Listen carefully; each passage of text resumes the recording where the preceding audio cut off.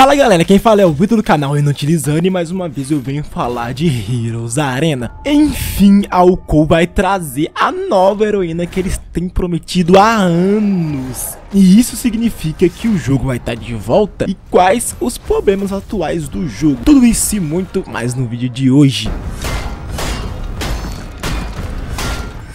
Mas antes de iniciar o vídeo, eu venho pedir para você se inscrever aqui no canal, curtir o vídeo, compartilhar pra geral e comentar o que achou sobre essa nova atualização do game. E bora pro vídeo.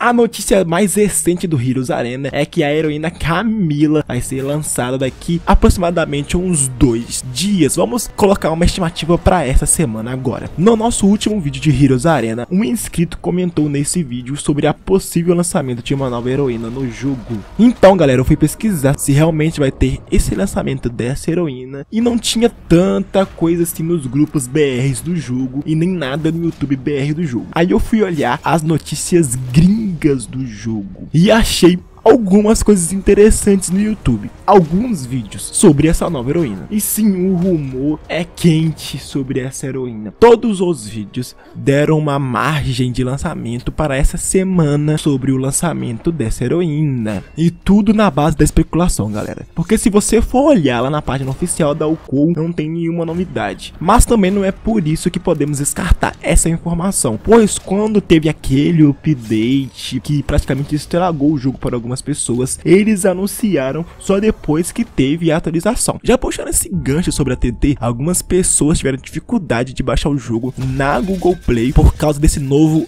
update, né? Então, aqui na descrição tem um link para você baixar o APK do jogo e conseguir jogar o Heroes Arena se você tá com dificuldade em baixá-lo, beleza? Heroes Arena é um jogo que todos nós amamos. Imagino que ele é o seu primeiro MOBA, não é? E que você quer muito que a Ukou, a desenvolvedora do jogo, traga ele de volta. Ou passe o controle para outra empresa, né? Então, se a Camila vir realmente, galera, eu pretendo trazer alguns vídeos de Giros Arena aqui para vocês. E se caso tiver alguma informação oficial, colhe aqui no canal que eu vou trazer o vídeo explicando e falando sobre a informação, tá bom, galera?